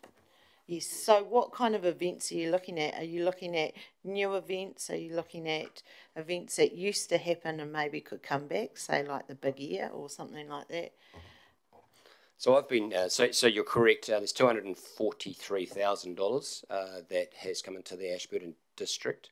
I'm not entirely sure that that's been made public at this stage, but um, Verity, uh, uh, who's one of your staff members in council, is managing the events as per her portfolio, um, and we're simply giving her assistance in terms of what that might look like. Um, key things that we've uh, sort of talked about is, is definitely new uh, is looking after the big existing events, um, bringing in new events, uh, and more importantly, getting events on board that are going to force overnight stays. So for an example, if we have um, a sporting event, um, you register on Friday and you run that on the Saturday. And so that forces people to come here, spend money, even if it's VFR, so staying with friends and relatives. They're still going to spend, they're still going to buy, you know, food and, and, and beverages and that sort of thing. Um, so that's really where we want to get to in terms of that. Every event has to have, uh, uh, we've, put a, we've put a parameter around that every event that would be run would have to have 60% of the people staying at least one night. Um, because that's where we build our economy of scale over over events. That funding you talked about is now public. Fantastic. Uh, no, I, I think, I, Just did. oh, it has been? Just Oh. the- Oh, really? Oh. I was thinking, oh my God, it only just came in my inbox this morning. I haven't, I haven't even signed the contract. okay, there we go. I better sign it then. Cool. Yeah, councillor Falloon? Thank you. Seems to me that the whole audit area seems to be a disaster, quite frankly. I mean, you say that the nineteen twenty audit has been completed and it's just waiting for sign off. But before they can sign off the nineteen twenty, they've actually got to sign off the eighteen nineteen. So which comes first, the chicken or the egg? Uh, Paul? Uh, through Mr Mayor, I can give an actually update on EMC's audit. It won't be uh, completed till at least the end of January um, because it's going to their technical team for the wording of a qualified audit opinion and councils have been given priority over EMC. So I was advised today that EMC won't be looked at till the end of January. Councillor Lovett, I have to come back, John. Oh, do you want to storm on a? John, usually, usually it's, usually it's speaker. Oh, too late. We're on to councillor Cam. Oh. Um, Councillor Cameron? Just a quick question regarding local tourism, and this is again crystal ball gazing. But do you think when the bubble opens that local, that domestic tourism will decrease again, or do you think it's going to stay at this level? So when the bubble opens, our whole our market will be greater than it was prior. It is a bit of a crystal ball. Um, uh, no, I, th- I think uh, I think there might be a fundamental change in the way people are thinking in New Zealand around around their travel. I mean, yeah, typically, if I go back and sort of, I, we did a small analysis of people that were on the mountain last year, you know, th- through the back end of COVID, and the amount of people that were there that were either going to go to Fiji or one of the other Pacific islands decided, well, we can't do that, so let's go and have a play in the snow. And I think now they've done that, that whole family change or that, that, that, that mechanism of change, um, you know, might be positive for us. Um, we may not see the same level. I mean, pre-COVID, 89% of our market was domestic. Um, so we're very lucky uh, in, in, that, in that sense. Uh, we've spent an enormous amount of time working with the domestic market, making sure they know who we are and where we are. Um, and so I think we will be able to carry on uh, with that. Um, from a Christchurch perspective, I think might be similar. Yeah, I think um, an Australian spends twelve dollars to every one dollar that a domestic visitor spends. Um, so the impact of one Aussie would theoretically um, support the outgoings of the domestic visitors that we're going to lose. Um, I think what, when we're working with the airlines, we're probably planning the first couple of months to be completely full with either VFR or business travellers. So leisure travellers are, are likely to be the second wave. Um, and things will start to find a bit more of an equilibrium then. And ideally, the timing is fantastic for you guys in terms of ski. So Australia is going to, you know, they can't go to Japan. They won't be able to go anywhere else for their ski holiday. So could be looking at a really bumper winter. Councillor? And of course, to top that off as well, we've got the Opuke Pools opening, uh, um, and we've also got the new um, uh, chairlift that's going in currently onto Mount Hutt, which is going to create a really big uh, buzz around the market. So it's very well timed. Councillor Lovett? I'm just going to ask about this. You've got the seventeen percent down with with tourists not here, um, and we always say there must be a lot of um, people employed in Mid Canterbury using their bank cards from out of the district. Do you think we're going to get closer to knowing who are the actual tourists going through and and people living here using bank cards from the North Island and elsewhere? Because you know the figures are still quite high here. Is it tourism or is it workers working in the county? So we, uh, last time we met, I talked to you through the Canterbury Tourism Data Hub that we are establishing. So we're getting our core data sets at the moment for that. So we have a thing called TripTech, which uses phone tracking rather than card tracking.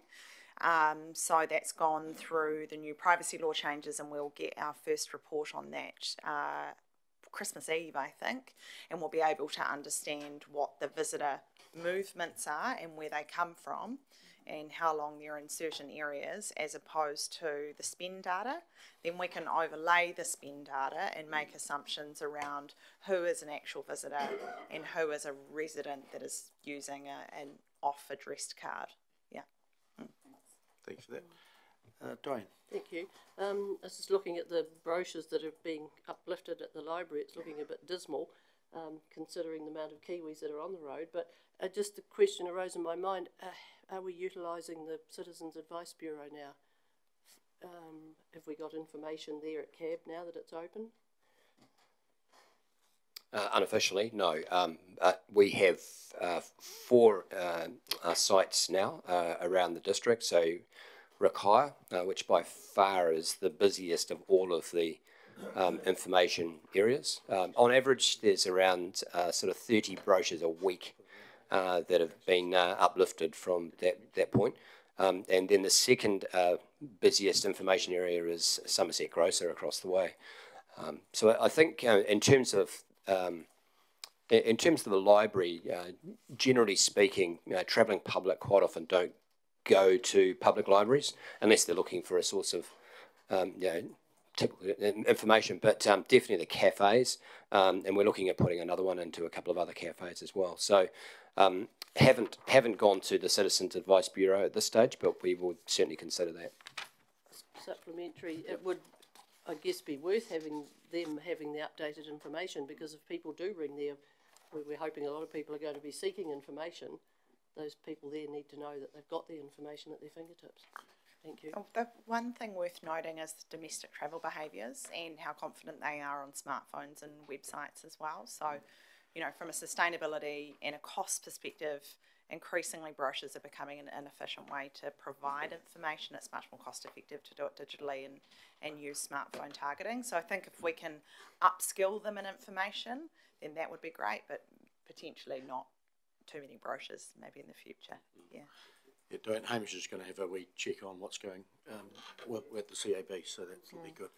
Um, no further. Oh, I've just got a quick question about the brochures. So you're still um, maintaining brochures at the iHub at the Mount Hutt Memorial Hall. Yep, correct? absolutely. We're yep. just maintaining their stock, um, yep. and uh, so yeah, they're, they're they're putting the brochures on their stands, which is fantastic. Um, anywhere else, I go physically around to each of those areas on a Tuesday, and uh, make sure they're all stocked up, and I sort of keep a bit of a general number um, in terms of you know what's going out and what's coming in. Yeah, and I think the iHub staff are, are making a note of the visitors that are coming in and yes, out they as well. Yeah. Uh, Councillor Lovett. Just going to ask, um, a lot of areas you go around, they have um, and it's a, a big, is it A3 size maps of the area with all the attractions and stuff um, marked on them. Has Ashburton District ever, and they're on a tear off pad, have we ever got done one of those for the district or, yeah? We've got three. So we've got an Ashburton map, um, and a Methven map, and a Rakaia map. Um, we tried to do it as a whole of district, and it was just way too busy. Um, uh, but what we do have on the flip side of each of those is the wider geographic area, um, taking going right back into the Hakatere Park, for an example. So um, it, it, each of those maps have have that that design factor in there. Thank you. Looks like we're out of questions. That's very good. Bruce, Lauren, thanks very much for coming down and um, sharing that with us. We look forward to seeing you in three months' time. So, and uh, have a Merry Christmas and a prosperous uh, tourism season. Thank you very year. much. He's hoping we're going to get lots of Christmas gifts from the domestic market. Correct. Thanks very much. Cool. Uh, councillors, back to the agenda. Item number 14, the BERL Government Cost Adjuster forecasts. Lots of interesting reading there. Um, probably more for your information, we have um, Richard, Emily rather, Emily and Tony, Tony, or to ask you any questions, Stuart? Or wait till they get seated. I've got a question. On page 75, it's got mid-range um, inflation. I think they're wildly pessimistic. We've put $100 billion into circulation all around the world. There's billions and billions and billions of currency looking for somewhere to go, and to say that inflation by twenty, twenty-five is only two point two or two point three, to me, the logic is we're going to have a lot higher inflation than that. I know BERL are experts, I'm not, but I don't know what you think. As a councillor, I would hate to estimate such a low rate of inflation in a ten-year period. Tony? Thank you. Through the chair, um, I can completely understand your concerns. Um, the, I guess, the saving grace with Burlers, so they produce this for us for an LTP, um, but then each year they do an update on what the um, to reflect what the inflation would be looking like for that next 12 month period. So this is indicative of their best estimate right now, um, but certainly in 12 months' time, when we're looking at uh, the next annual plan, they'll be giving us an update. Thank you, councillor McMillan. Thank you. Um, and more of a comment than a question, but um, just five point three, the role of the local government. I think we've got our timing right with the building of the new civic and library um, building. Um, when you read um, the bottom of page, our 82, 83, and then if you um, go to the ways of living, um, which is 86 or 84 on um, Stella, um, just talking about more people working from home and the importance of um, having a hub, and I think that's where our library is going to um, come into play with with that going forward. So it was really good reading that and, and connecting it back with our new library and civic centre. Thank you for that, councillor. Thank you. Yeah, there's a lot of figures here, and on the they're boring, and basically end of the day mean very little. What they are though is do, does give our planners something to hang their hats on, and that's about the only reason what it's here for. You could take issue with the scenarios. We've got a stalled rebuild scenario, which certainly this territorial authority is not, does not form part of. We're probably more tending towards the faster rebuild scenario. However, I think the mid scenario is a nice conservative way to do it, and we accept it and move on. Thank you for that, councillor Mackay. Uh, question, Mr Mayor. Was the freshwater reform project that we talked about earlier this afternoon, the results, the probable results from that, were they included in which scenario? Interesting question. Uh, so through the chair, um, that was part of our reasoning why we didn't think we could justify pushing us into that faster rebuild zone, um, even though we hadn't seen the report in its entirety at that point. Um, we certainly, from what we were hearing around the coffee table, was the impacts could be significant and severe for our community. Um, next question: Why scenario two is against scenario one, which talks about unemployment, shrinking population? Um, because I think that report is worse than any tourism or retail or retail trade downturn. It's going to cause it. Thank you, through the chair. So I guess we have to be quite mindful with the scenario that we do choose. Audit will come in and, and take a look and say, okay, what's the evidence behind you choosing the scenario that you did? Um, at this point in time, we aren't in the same league as perhaps Queenstown Lakes or um, Mackenzie District Council in terms of a loss of employment, uh, in terms of a significant impact from COVID that would justify us being down in that low scenario. Would the freshwater report that we um, received earlier this afternoon give us justifiable evidence to present the auditors for scenario one? through the chair, potentially yes, but with the impacts not being uh, seen on the ground at this immediate point in time, it could make it more difficult.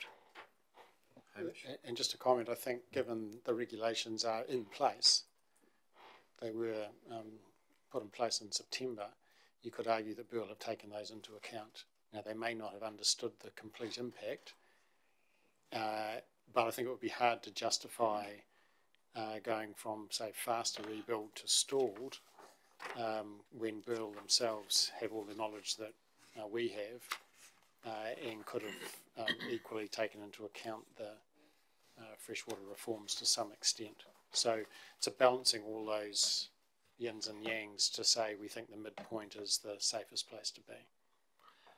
What we probably could do is um, ask the authors of the report, the BERL report, did they take the freshwater policy into account and um, factor that in at a later date? But and they may say yes, they may say no. I don't know, but we could ask them.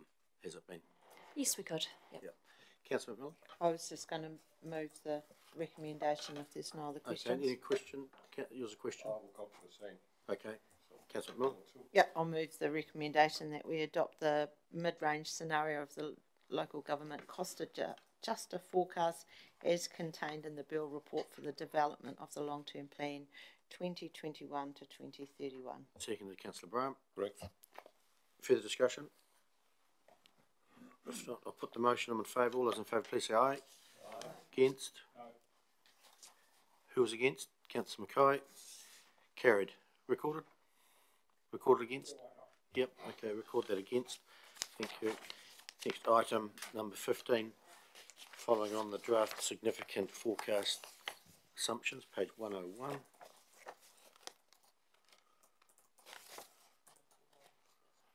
Ninety-nine on Stella.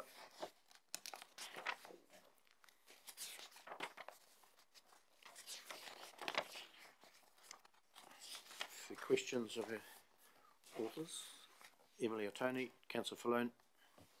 Thank you. I see a lot of these assumptions are based upon seven-year-old information. So how robust can our assumptions be when they're based on such ancient information? Yeah, unfortunately, the census data wasn't, the 2018 data wasn't out when um, our forecasting assumptions were built. So we had to use the 2013 census information. Um, so it's basically the only information we had at the time to build these. We have undertaken a bit of a sense check to make sure that when the 2018 data did come out, that it's not looking away off and we're comfortable that it's looking on track at this point. In the new year, um, Stats New Zealand will be releasing their population projections from the 2018 census, so we'll be able to use that as a bit of a sense check too. But to get the LTP started, we had to have something. Councillor Wilson. Thanks, Mr. Uh, Mr. Mayor. Page one one nine, assumption five, Ashburton Second Urban Bridge funding. First paragraph, if this funding does not eventuate from the PCG or NZTA, we will reconsider loan funding or rating. I hope we never get round to rating because rural people pay eighty percent of the ro- roading rates. It would be totally inappropriate to have it done by roading rates. I'd lo- wouldn't like to see that sort of, we haven't discussed that in any way, that we will fund it if we don't get, I don't like to see that in there at all. Hamish? Uh, uh, thank you, and we were careful to say that we will reconsider, so that there's certainly no assumption that that's what council will do. But clearly, if the funding uh, doesn't come in under council's current uh, policy to have it um, 80% funded by someone else, then we will have to pause and think and talk about that. So all we're trying to signal is that uh, the funding would need to be reconsidered, which I, th- I think is a fair enough assumption. Where that leads us to is, is more, I think, to your point. Uh, I have one question. It's on page one twenty. It talks about the interest rate variations. Cash on investments is assumed to be zero percent over ten years. Is that uh, practical? I know it's very close to zero, but it's not zero. Yes, Mayor, there, there's a, s- in the proposed LTP budget, there's a very tiny amount. So we might perhaps put a range in there or, or adjust it, but it's, it's, we're estimating something like there'll be less than a hundred thousand dollars of interest in year one. I think at the moment we've got fifty thousand in there, so it's going to be very minor because we've, the debt rate we're using is very low, so you can't, you're not gonna get it both ways. So at the moment, invest, uh, return on investment is, is very little. And we're using two point five percent as our uh, interest rate for borrowings. That's, what are we on now? What's that? Uh, the weighted average of our debt at the last report was two point four or five, it was right about there. Yep. Um, I will be looking at that again to see whether the weighted, interest rate when we borrow some more will come down. Um, but it's just a matter of how prudent or conservative you want to be on that. You know, you could go to two, but then you're, you're actually taking a risk on that. So um, it's part of the uh, LTP budget production at the moment is reviewing all those things like interest rates and seeing whether they're appropriate. It's prudent to be realistic, I think, yeah. Correct. Yep, thank you. Chair, Councillor Falloon? Yeah, just following on from my earlier question, how important is the census in coming up with these assumptions? Through the chair, it's crucially important for the work that we do around planning, yes. But is it mainly on population? It's on population um, and any changes to our population. Um, that's our, it is really our single source of truth. It's the most robust data that we can access. I mean, having gone through these and looking at the confidence and risk levels, I pretty much think they're all pretty much on target. Thank you. My, this being number six, LTP for me, the assumptions that have been going over the years have been not too bad, reasonably close. So I think, um, as you say, Councillor Falloon, this is not too bad. It's spot on-ish. But crystal ball stuff, it's crystal ball. It's crystal ball. Who thought there was going to be COVID? Yeah, yeah, yeah. Councillor Brown. If there's no more questions, I'm quite happy to Move. the recommendation on page ninety-nine. Um, Okay, seconder, Councillor Lovett. Any further discussion? If not, I'll put the motion. All those in favour, please say aye. Aye. Thank you, carried. Next, item sixteen. Thank you, ladies. Customer privacy policy. And with Mel. Questions of Mel clarification? Lane, you've got your lot on. Lane. Oh, sorry. Just one question, in the, um, page one, two, three, item number six, it talks about, um, two thousand and twenty-two, when the policy is due for review, but further over somewhere in the policy, it talks about five years. Is there an initial two-year review, then five yearly, or those numbers don't line up?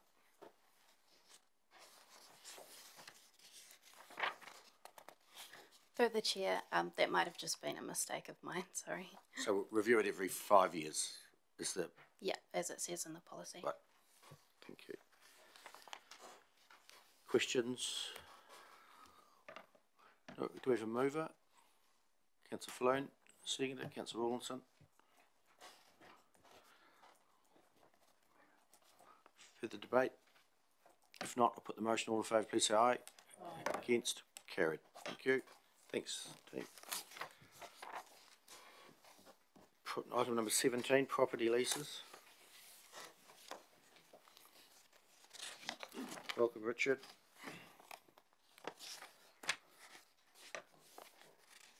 Questions, councillors? You've read the report. This has been before us before in a workshop.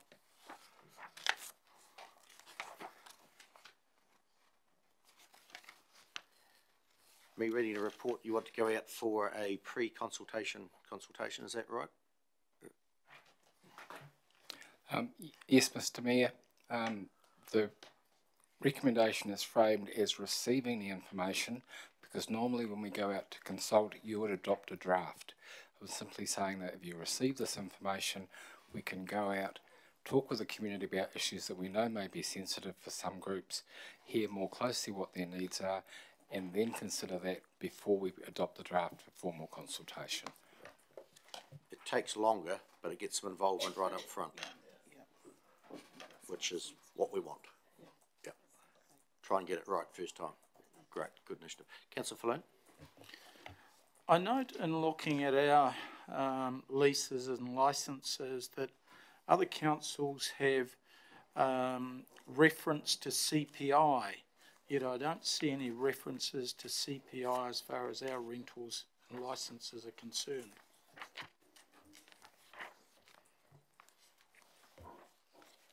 I think your observations are accurate, sir. Did you have a question?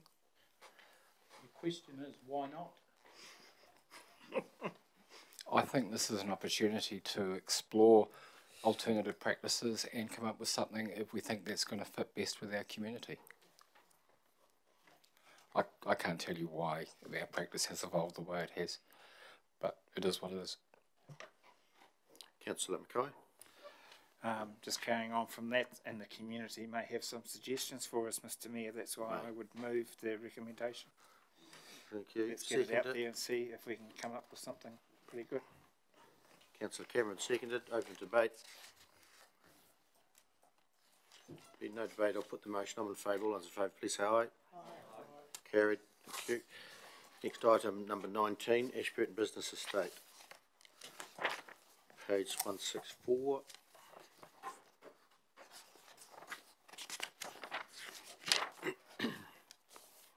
Road naming. Uh, thanks, Ian. The report's there. I think it's reasonably self-explanatory. Got some roads to name out there on the subdivision that council did on the old lot nine. And others. So, um, names there been suggested. Any questions? Councillor Mackay? Oh, I'd move the recommendation. Uh, Mr Mayor, I think there's been a good process gone through and some good thought put into it. Well done on the names you selected. However it was done. By the look of it, it certainly was not pulled out of a hat. There was quite a bit of historical background gone into those names. So, well done. Seconder, Councillor Lovett? I'll second it, but I was just going to ask, um, you know, I see you've got a list of names there that you're going to carry on, and I was just wondering, we've just lost one identity in town, and I don't know, is there a road, looking at um, Roger Bradford, Roger Bradford, whether we should have a Bradford Road or a street added to that list to go on roads in the future out there? Because there's, that, there has been a business out on that end of that, start of that business estate, and um, they contributed a lot to this town and the concrete industry slab. Um, through the chair, I, I guess this this list of names was actually put together some time ago um, by a group of staff and previous councillors. Um, my understanding is that if in the future there will be a working group probably put together if there were more new names to be promoted. Um, I, you know, I, I, I don't have any opinion. I guess it's councillors. Yeah. It would be councillors' discretion as to what, what names they might choose. So Ian, um, a working group will set up at some stage to consider some extra names. Is that what you're suggesting? I, well, well, it might be a question for um, uh, Jane, perhaps, to, to comment on. I, I think that would be a good idea, Mr Mayor, um, bearing in mind that that's just for road, roads that are council roads, because private developers usually put forward their own names. So, but we could certainly look at that in the future when we've got some more Thank you. vacant spots. Yep. Councillor Letham? Uh, thank you, Mr Mayor. On page one seventy, uh, the map pointing to the roads, I, it might just be a, a typo or whatnot, but Otley Street and Anster Street aren't actually pointing to any roads. But I presume it's the, the road that's closest to where the arrow is. Uh, through the chair, yes, yes, well spotted. Um, it looks like there's some sort of uh, Yeah. technical glitch there, but yes, you are correct. I think everything needs to be moved probably about an inch to the left. I noticed Anster Street was in the middle of a paddock, but never mind. Yeah. Yeah. Councillor Falloon? Yeah, I'd just like to support the um, words of Councillor Lovett that um, Roger Bradford should be added to the, any list that we have. Yeah, the working group will work through that. Yep. Good. Um, put the recommendation. Right, a reply needed? No. I'll put the recommendation. All those in favour, please say aye. Aye. Against? Carried. Okay. Next item of business is still heritage funding. Num- item number twenty. Page one seven two.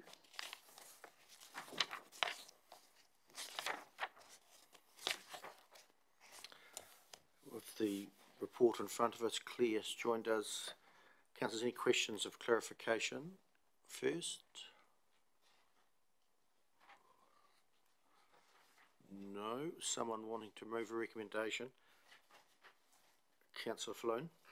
Yeah, question actually. Question, we'll have a question. Yep. Um, a total of two applications were received seeking seven eight three nine Yet, am I reading it correct in two that the Lions Club are getting the whole lot for the um, doing up of the Sexton's building? I think you may be on the wrong, on item number, sorry, I'm on the wrong one. Number twenty, I was on twenty-one, yeah. Yeah, now we're right. Your question is pertinent. Uh, so the recommendation to the Lions Club is four seventy six. Um, the requested amount was eight thirty nine.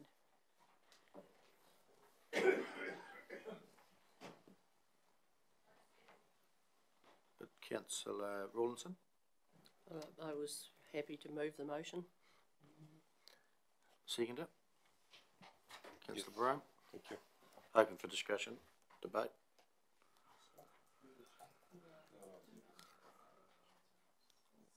Question then? Take a question on it for us, avoid confusion.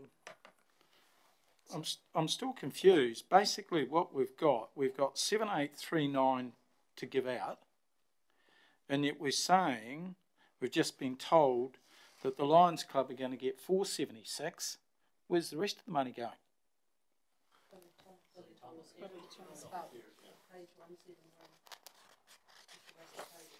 There's a table there with a, so it doesn't all have to be spent either, it can be carried forward. Yeah. Clear, clear, councillor Falloon? I think it's, Yeah, page one seventy-five, there's a table with both applications on it.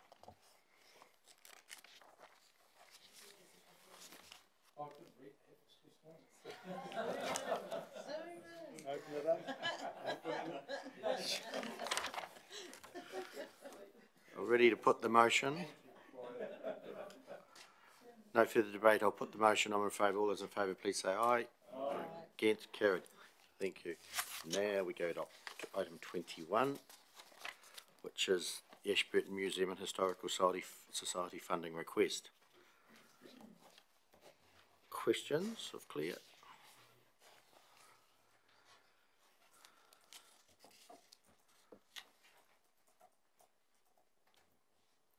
Councillor Lovett. Just going to ask, is there other clear avenues of funding to be able to do the history? Because I think it's important we start on that journey before we keep losing the older generation with all the knowledge. Um, I'd hate to sort of, you know, to stop this from the momentum of it gathering for the future. Right, um, just through the chair, um, yes, there are, rather than just purely rate, uh, rate funded, um, funds, there are some, um, external funding agencies, um, uh, that, um, and also some of the discretionary, uh, grants that council does have, but, and that's why that second recommendation is there, that, that we work with the society to look for these funds, uh, to try and encourage it, to have money outside of a rate-based So I'd like to move the motion as is or adjust it? Uh, councillor Lovett, Oh, I'd like to move the recommendation one and two as it stands. that is to, to, to, uh, second it, I'll second, thank you. Melon, and that is to decline the funding request, but work with the, um, Historical Society and Museum to look at other options. Yeah. Further debate, councillor Cameron? Um, when you're looking at the funding, are there any other ways around it? Like, can you uh, do a loan? If the books are sold, can you take a can the council take a proportion of the, the, the, the, sales? Or who's gonna own that, the proprietary intellectual property of that book and all those sorts of things? I would like, I would hate to decline this unless there's some underwriting commit, um, sort of commitment from the council that they would support this project. I think this is a valuable project. Um, and just through you, Mr Chair, again, you, look, you're, you're dead right, and that's, that's the intention, is to meet with the, um, with the society. I've actually had some personal involvement in, in, in book writing, historical books, and, um, I'm sure that I can share some of those ideas. So Claire and I will meet with, um, with Glenn and, and his team to actually just think tank through some of those options, and there's plenty out there. Councillor Rawlinson? Thank you, and I was just going to comment too that I do support, I support the motion as is, but I do support the support that we're going to give them. I've been involved in the writing of a history book too, and it took five years to get it finished, but it was well worth the wait. So I do support the, the idea. Councillor Cameron? This is just following from my last question. I would like to see more commitment than we will try, or we will do our best, or we will support. Is there, I don't know what the feeling is from around the council, but is there additional sort of support for that position? Like underwriting until can be, funds can be used to, you know, mitigate it or to balance, or is there any other? You could move an amendment. Well, I will move that amendment then. That we underwrite it until the funds can be raised uh, from alternative sources to, if you like, repay or give a loan until it can be repaid. You better put a pretty hard timeline on that.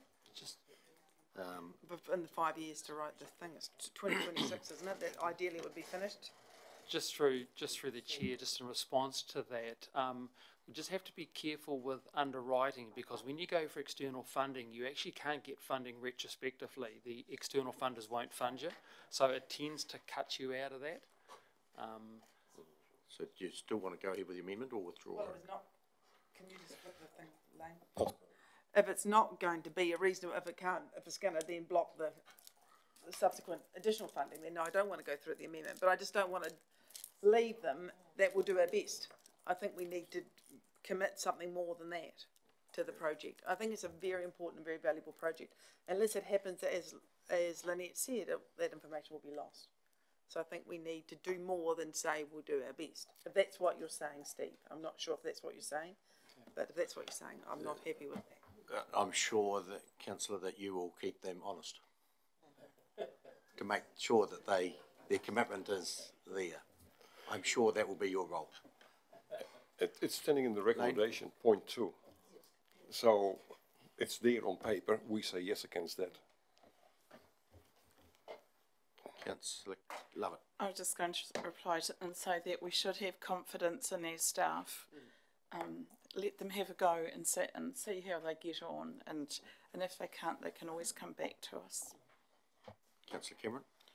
One, just one further remark, they can come back to us indeed, but we might, might lose the person that they've found to do the writing and the, and the other things that have been lined up as regards to that. Yeah, uh, yeah, I don't support this. Okay, it's fine. Councillor Letham? Uh, just one minor point, Mr Mayor.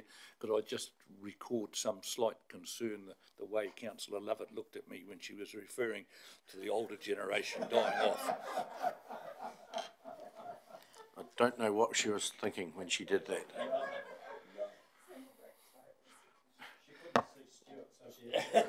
I'm going to put the motion. Can I, can I just make an amendment? Oh, you want to do the amendment? Yeah, I want to make an amendment. Right. Um, that will do the second point, the recommendation that the Ashburton Museum and Historical Society be asked to work with council staff and for twelve months to see what can be done, and then it will be brought back to council at the latest for a review of the situation. Could you just do that again, but slow it down? And shorter? The amendment is as it stands, but there's a caveat to it that after twelve months, if it has been unsuccessful, then the council will review the situation with the view to funding the shortfall. Right, we second, to second to the point number two for, for that amendment. Do we have a seconder? Anybody that? Councillor Wilson seconded. Thank- Do we do this, we'll do them one at a time now, Philip, I presume? Because, so the. Well, So we'll do the amendment. Yeah. So we'll do them all as one and two with the amendment. Yeah. Any discussion on that? Councillor Mackay.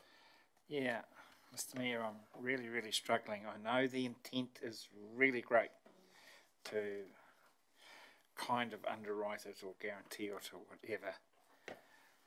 But having sat on some funding organisations in the past, and I got to hear about the second motion, the second part, I would walk away and not grant the money.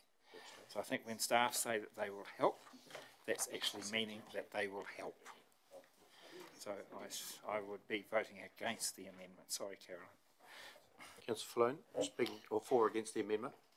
I would be speaking against the amendment because I would not like to have an amendment that they can come back and we will underwrite it. Councillor Braam? Yeah, I'm against it too. Uh, my reason is, as it was before, point two will say it. If the staff won't do it, they can reply next year. So there's a lot of things in place, but I don't think we will, won't go that far. It stands there what's going to happen. So as it was originally, I will follow that. Councillor Letham? Uh, thank you, Mr Mayor. I would uh, oppose the amendment also on the uh, original grounds that if um, other funding sources know that there's a, a fallback position that um, the museum can have, um, th they may be reluctant to lend. So I would just, I'd like to see the recommendation stay as it is. Anyone supporting the recommendation, the, the amendment? Because we've had three against and we're going to put it. I was just going to say I don't support the amendment either. I think we've got a good so community we'll- services team and we've put our faith in them. So we'll put the, put the amendment, councillor Cameron's amendment. All those in favour, please say aye. Aye. Against? Lost. So the original recommendation becomes the motion, and I'll put the motion. All those in favour, please say aye. Against? Recorded? Carried. Right. Moving on to welcoming new and long-serving staff, and we have Rachel here, who is going to introduce them. Rachel, take the floor, thanks.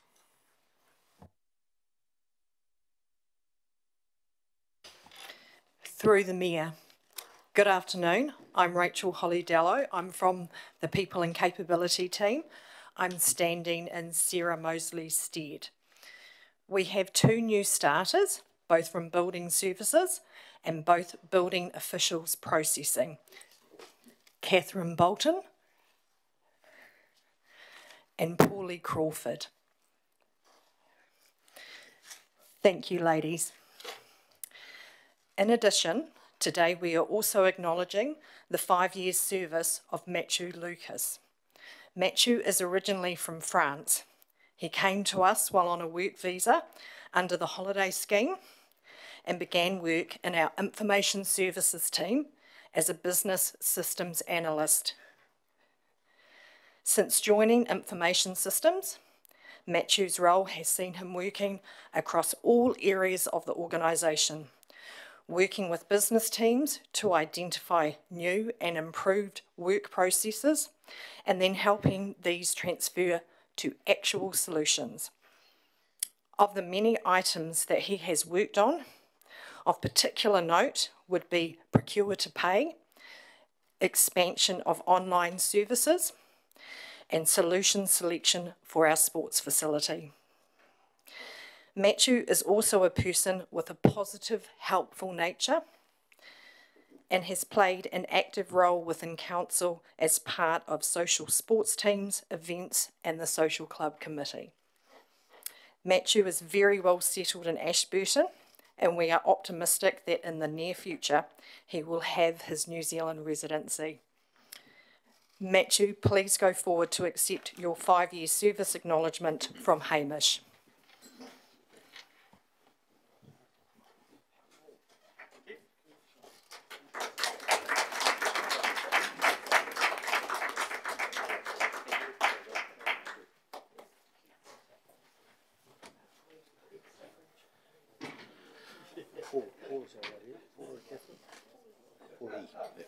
Thank, thank you for that, and um, congratulations, Matthew, for your five years, and Polly and Catherine, welcome aboard. Um, we ready for HEB, are we, Neil? Okay. Uh, next, next item there is the HEB team, and you all know HEB is the new roading contractor, and they've got one of the ejector trucks here and an LTMA level one to show the councillors during our break, which is parked over there. I dare say the keys are in it, Stuart, so get into it. Uh, and the, the staff, new and long-serving staff, are more than welcome to stay for afternoon tea and have a chat with the councillors. Welcome, uh, the HEB team. Good. Um, I think Neil, you're going to. Uh, If I can just mention, um, Yeah. Conrad will introduce the HEB team Okay. and uh, we'll go from there. Conrad, if you would like to come for, there's two chairs there, but um, yeah, come forward, push the wee button so the light goes on, and our people at home will be able to hear. You're all being recorded and live being streamed as we speak. So the floor is yours to introduce your team. Thanks. Uh, thank, thank you, folks, for letting us be here. Um, today, we just want to introduce ourselves, um, who we are, and the team we have here today um, is pretty much the team that'll be delivering the contract for for your community, for your network, and for you guys. So, first off, um, my name is Conrad McLean, and I am the contracts manager.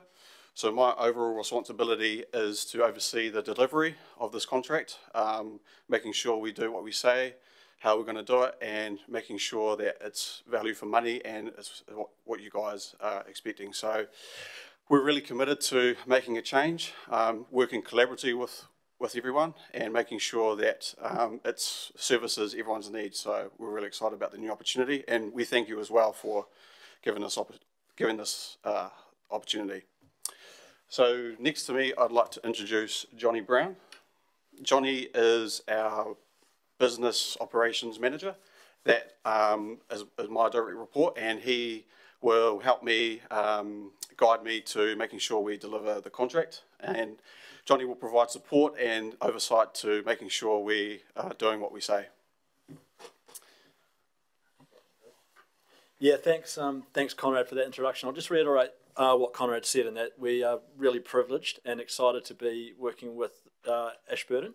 Um, we've got uh, a long um, standing history in maintenance in, in, the Canterbury region, and we believe we've got a lot to, to offer. And um, we want to work with you in the community to, to exceed your expectations, basically. That's one of our main missions.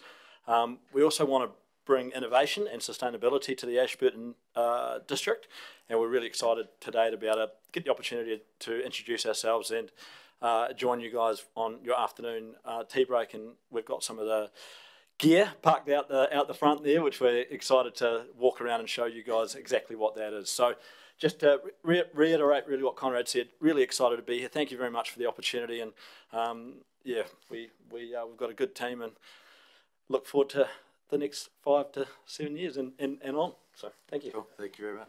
Conrad, do you want to introduce the rest of your team you've got? Yep. So behind me is Chris Kerr. Chris Kerr is our National Maintenance and Traffic Manager. Um, he will come in and provide some overall leadership and some guidance and really uh, making sure again that we're, we're doing what we say as well. Good afternoon. Good afternoon, Chris. Next is James Faber. He is our contractors representative and James and I will be working really closely to um, again oversee and, and making sure we do what we do. James has a really good engineering background and he's an engineer at heart, so the numbers and design aspect is really um, at the heart of him. So having that experience and something I can lean on will be really beneficial. So James uh, runs the sale and maintenance contract as well. So with that experience, we'll be able to bring that to Ashburton as well. So James. Welcome, James. Next is Rupal Sharma. So Rupal is the northern supervisor for this network. We've broken the network into two areas, with Ashburton being the boundary, so north and south uh, replicating the same as Jeremy and Hernando. So Rupal has come from Auckland, our, one of our livable streets contracts, where it had a heavy um, urban background. So Rupal brings those skills of um, that type of work with, within the CBD um, and some really good knowledge around it as well. And again, in, Rupal's an engineer at heart, so um, there's a method to his madness. Welcome, Rupal. Uh, next is Kenny Dawson. So Kenny is the southern supervisor for this contract. Kenny is um, is an up-and-comer. He's come from Selwyn and he's been with us for over seven years. So Kenny has a really good, strong experience and background in the rural aspect of, of maintenance, um, and this is a really good step up for, for Kenny. So I'm pretty excited for him to implement all the learnings he's taken from the ground and implementing here. So between Rupal and Kenny, with both these strengths, we'll be able to um, make something, yeah, a really strong partnership to have the operational delivery um, out there. And lastly is Diane Yates, um, who is our contract administrator. Um, Di has been in the maintenance world for over 12, 12 years, so she breathes and understands the maintenance aspect of things uh, through to RAM, through to CRMs, uh, which is a very important aspect, and just overall um, mentorship as well. So Di brings a really good and valuable experience to this contract. Good. Well done, thank you for introducing the team. You've got your trucks outside, I think. Keys are in it, Stuart would like a drive. At some No stage, if not today, another day. Um, roading, very passionate to us in, um, in the Ashburton district. We have the, I think we're the fourth, might be the fifth largest, um, roading area now. I think Selwyn just pipped us, they must have put another road in or something. So we dropped one and they went up one, but we're very, very similar, um, roading lengths and same shingle and, uh, compared to, to our seals. So roading is important. We get a lot of, I'll use the word feedback about our roads. So, um, if you deliver what you say, we'll get on really well.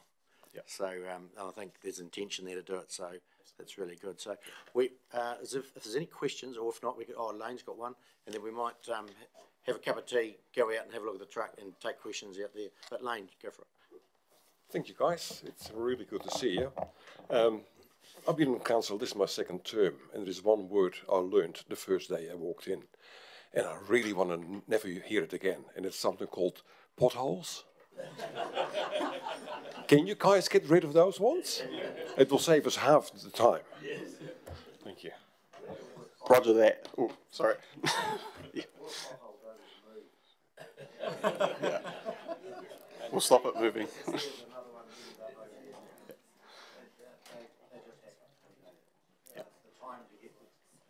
Yeah, the pothole just moves it, um, it's, the time to get there to fix it. it's the, probably the, the key thing, because we know they happen. Yeah, so I think you're all on board with that. So we'll break now for a cup of tea, have a look at the trucks and, um, yeah, yeah, and the staff will be joining us too, the new staff and long serving. So, um, cool. Fifteen minutes, councillors, and we'll get back into it. Thanks.